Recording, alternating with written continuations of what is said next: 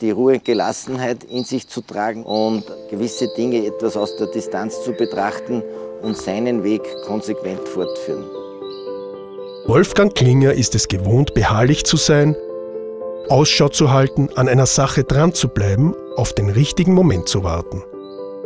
Dies bewies er stets auch in seinen bisherigen Tätigkeiten als Transportunternehmer, Wirt, Jäger, Bürgermeister, Nationalrat oder jetzt als Landesrat in der oberösterreichischen Landesregierung. Wolfgang Klinger, der im Bezirk Grieskirchen als Unternehmer verwurzelt ist, gestaltet seine Heimatgemeinde Gaspolzhofen seit 2003 als Bürgermeister und seit 2019 arbeitet er als Sicherheitslandesrat für Oberösterreich. Durch sein politisches Engagement zieht sich ein roter Faden. Unsere Heimat erhalten und weiterentwickeln, unsere Heimat schützen. Gefragt, wofür er einstehe und wogegen er sei, antwortet er, also alles, was zum Wohle der Bevölkerung ist, das kann man mit mir durchbringen. Das ist einmal völlig klar. Was man mit mir nicht durchbringen kann, ist Freundelwirtschaft oder irgendwelche Maßnahmen, die äh, zum Schaden unseres Landes sind. Das geht mit mir auf alle Fälle überhaupt nicht. Als zuständiger Landesrat für Katastrophenschutz und Feuerwehrwesen möchte Klinger besonders den Einsatzorganisationen den Rücken stärken, denn ohne diese wäre unser Gemeinwesen nicht denkbar. Klinger, der selbst mehr als 40 Jahre Mitglied einer Feuerwehr in seiner Heimatgemeinde ist, ist um intensiven Kontakt zu den Einsatzkräften bemüht.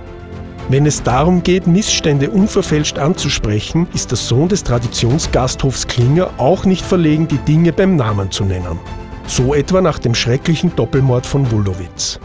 Ich glaube, dass man hier schärfstens reagieren muss, vor allen Dingen zukünftig, wenn man betrachtet, dass von afghanischen Tätern voriges Jahr 24 äh, Stichwaffentaten vorgelegen sind und heuer auch bereits wieder acht, dann haben wir hier entscheidend etwas anders zu machen. Das kann es nicht sein in unserer Zivilgesellschaft, dass wir uns solchen Taten nicht entgegenstellen können.